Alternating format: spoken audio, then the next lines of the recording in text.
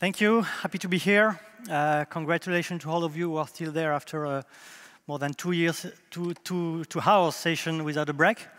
So congratulations to all of you. Um, we're a bit behind schedule, so I'll try to be uh, as uh, interesting as possible with a quite technical topic, uh, which hopefully have been already introduced by uh, um, Svetlana earlier today.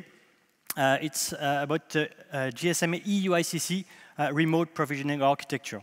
Uh, just a few words before I start. Uh, so I guess that a number of you do not know anything about Simulity. so what we are doing today is that we are actually a technology provider uh, developing a SIM card operating system as well as SIM card management platforms. Uh, we're not delivering that as, as uh, SIM cards to uh, the operators. We are actually uh, have a number of customers in uh, various regions of the world that actually do take the chip, take our chip with our OS, and then put that into a smart card, and then deliver to the MNO. so that's what we are doing today. but obviously, well, thanks to this uh, re remote, provision, uh, remote provisioning architecture that I'll describe, uh, we feel that uh, the business models are really changing, uh, especially for obviously IoT uh, connected devices, where we actually see that the, the, same chip actually will be used to store very secure information coming from various different operators. So uh, few things about IoT first. I mean, uh, we've, I mean, you've probably read a number of uh, figures already uh, throughout the, these uh, two days. Uh, we, we have all different figures, different years, etc., where the, the, M2M and the connected homes, connected cars, etc., will reach a certain figure. just, I, have just taken two figures. one, which is that just to show how it the growth actually of the of the um, of the IoT and, and the, the, different elements required to build uh, secure IoT solutions. Uh, so in 2013, the global M2M industry had a size of around 40, 45 million billion sorry dollar, and it's forecast to be 200 billion by 2022. Uh, so you can see that uh, obviously it's, it's just huge. I mean compared to what it was only two years ago. And another one on the growth uh, coming from the GSMA, the figure coming from the GSMA, is that uh, as February 2004, 2014, uh, M2M accounted for uh, over 2.8 uh, percent of all connected devices. So it's definitely growing uh, and dub doubling the figure of 2010.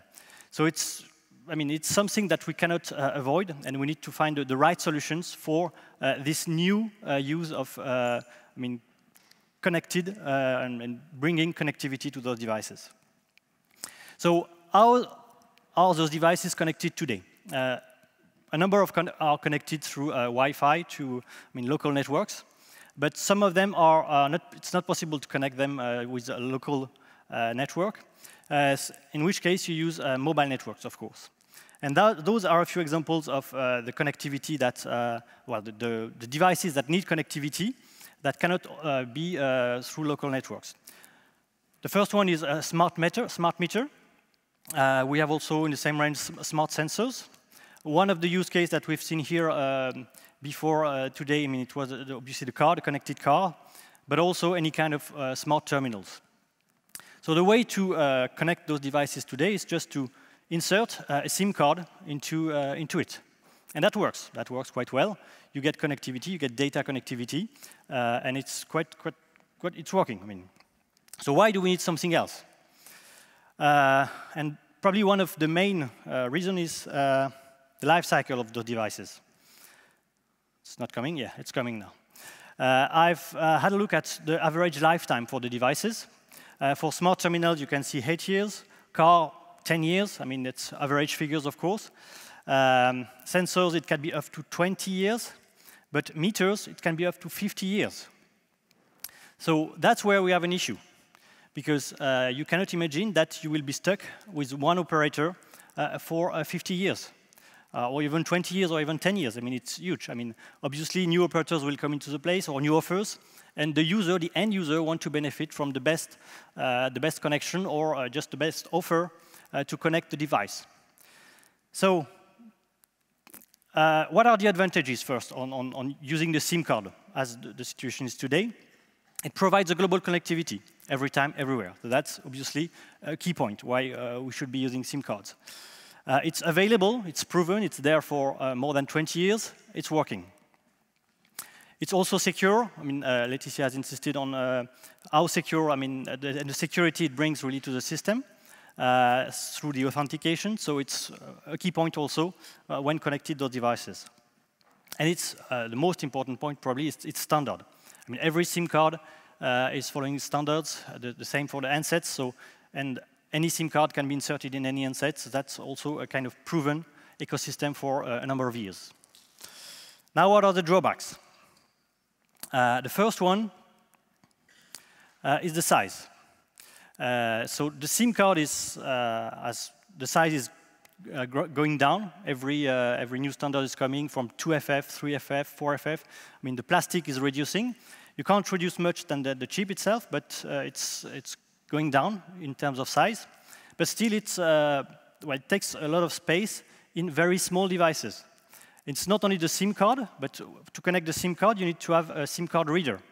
And then you need to, to put some pins, which are, could be some, somehow tricky in uh, very small uh, devices. So first, we have a size issue. Uh, but probably one of the main issues is uh, that you're bound to one operator.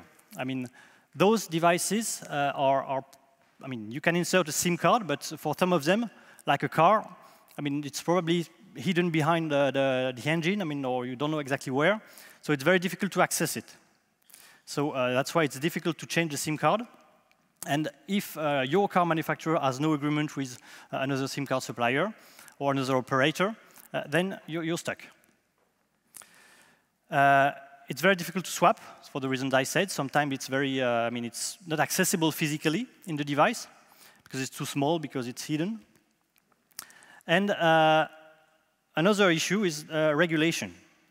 Uh, being stuck again with one operator for, for 10 years is something that the, in the various countries in Europe, but, but anywhere, uh, will be a concern for the, the telecom regulators that do not obviously like that uh, there is a system that bonds you to one single operator uh, for a number of years. So that's all the issues that we have to address. And that's basically what uh, uh this, well, the GSMA has tried to address. But let's come to the first one, the size. Uh, for the size, uh, as I said, I mean, the SIM card form factors has evolved from the, the, the, most, the oldest one, which is called the 2FF, or plug-in SIM, uh, which was a bit big and which became too big for a number of uh, uh, smartphones and or smaller phones. It has now evolved, and the main deliveries are now in the 3FF form. So it's the, again the chip is the, the, same size, but just the plastic, but, the, the, part of the plastic has been reduced. and so more recently, we also had an even smaller form factor, sorry, uh, which is called the 4FF, so fourth form factor, or nano SIM. Uh, but still, yes, you had a plastic, you have an interface to, uh, uh, you need a reader to, to insert those SIMs. And uh, that's why we, well, a new form factor called MFF2, so for M2M form factor, has been designed where you have actually the chip, which is embedded into now a hard plastic with only the contacts. So the contacts are ex exactly the same as a SIM card, it's the same interface, uh, but it's just uh, an even smaller form factor, and which is not bound to be inserted in a slot, but directly soldered into uh, the device. Okay, so it's built within the device, uh, and uh, so that's obviously uh, uh, is easier actually for uh, the device manufacturer to to put it in the in the design. So let's say the size issue has been sorted out through this new form factor. But then we still have the other issues that we faced, and that's what has been addressed by the GSMA recently, or well, the GMS, GSMA is working on it for a few years now, but the specifications have been released and are, are really uh, uh, more and more are coming in terms of uh, testing, in terms of interoperability. And that's what I will try to describe uh, before uh, the end of my speech. Uh, so it has, it's really an initiative by the GSMA to promote a common remote provisioning architecture for new, for new usage, actually, of the SIM card or on the, of the chip. It's really uh, promoted, endorsed by a number of people, uh, especially uh, mobile, well, mobile operators, SIM suppliers, etc. And it's a technical specification that will enable the remote installation and management of what we call operator profiles. So everything that really is specific to an operator within the SIM card. And this specification is bound to accelerate the M2M market uh, because it will provide, reduce the cost and increase the, the, the, flexibility a lot. So what are the uses, actually, of this uh, embedded uh, UICC and the requirements that have been taken by the GSMA to build this uh, new architecture? The first is, the obvious one, is the provisioning of multiple subscription onto the same uh, device, onto the same chip. Uh, that's the, the, the, bottom line, actually. Uh, be able to use the same chip for different operators. The second one is obviously uh, the need to have a first subscription when the, when the chip is designed uh, or is, let's say it's uh, manufactured or embedded into the, the device that needs connectivity. Uh, there is a need for a first subscription because if you don't have any subscription when it's manufactured, you won't be able to do anything with it. So there is, uh, yes, this need for this first subscription or what we call provisioning profile. And then the ability to, at any time, change the subscription from one to the other. And that's what is really the target, to swap, to allow the user to benefit from another subscription for any kind of reason. There, the requirements include, included also the need to stop a subscription uh, when you don't want to use it anymore. And lastly, to transfer one subscription to one device to another one. So that's the requirement that have been addressed by the GSMA. Uh, and that's basically uh, now the elements that are required to, uh, to make that real. The first, obviously, is what you call EUICC or embedded UICC, also called embedded SIM uh, so it's functionally equivalent to SIM. Uh, but when it is manufactured, there is a provisioning profile uh, dedicated to one operator that will be, yes, the, the kind of bootstrap. Uh, so, so you have connectivity when you start uh, to, uh, yes, to, to, connect to that network. it could be to use it, but it could be also to just immediately change to another network. But you need, obviously, a trigger for it, and that's the provisioning profile. And then the technical specification will accommodate the declaration or loading or installation of any kind of new profile, new MNO profile into the, the, the chip. Then the second element is the subscription manager. So obviously, uh, all, I mean, this swap of subscription or loading a new subscription needs to be managed by an element on the network side, and that's the subscription manager. So it manages the cards, so the, the, the chips, the embedded uh, UICC, to generate a new SIM profile uh, in real time, and to manage the execution of the MNO policy, because different MNO would have different security policies, and that's also addressed by, by the specification. And the last is the secure routing of those profiles uh, into the, the EUICC. So that's the two main elements. And the second one, the third one, sorry, is obviously the MNO uh, that will uh, obviously use uh, the subscription manager to, uh, well, load profiles on this subscription manager so the user are able to use their, their network.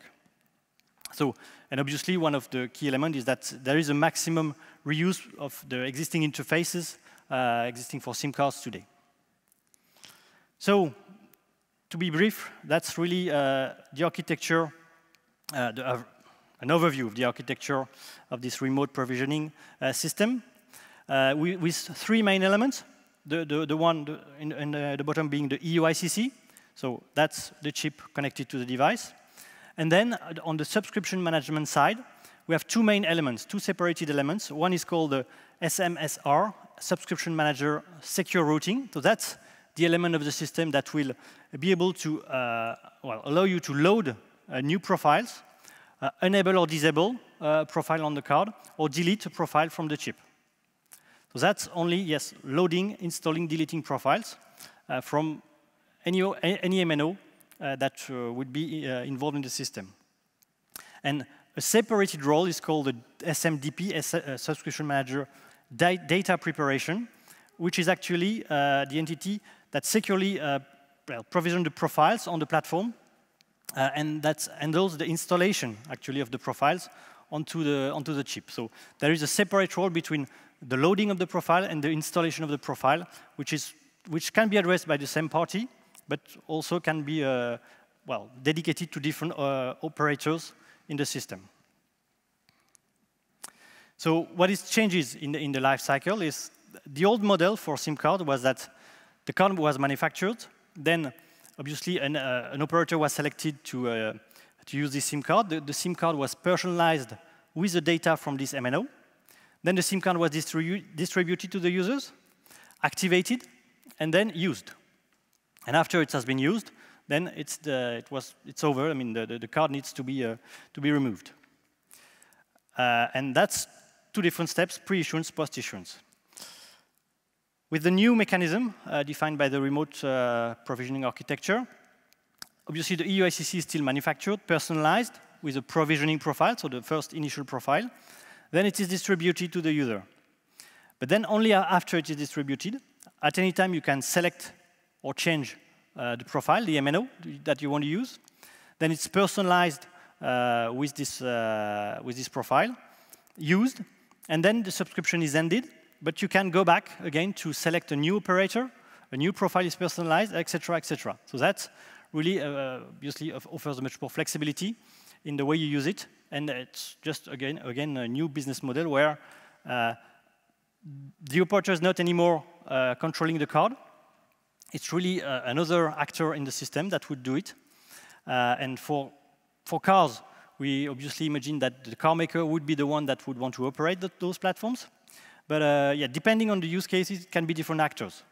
Uh, that needs to have agreements with the MNO to, to get all the provisionings, to get all the profiles, so the operating profiles to, to be loaded, and then to securely handle the, the, the, the loading and installation of them. So, and that's the architecture within the, the EUICC chip.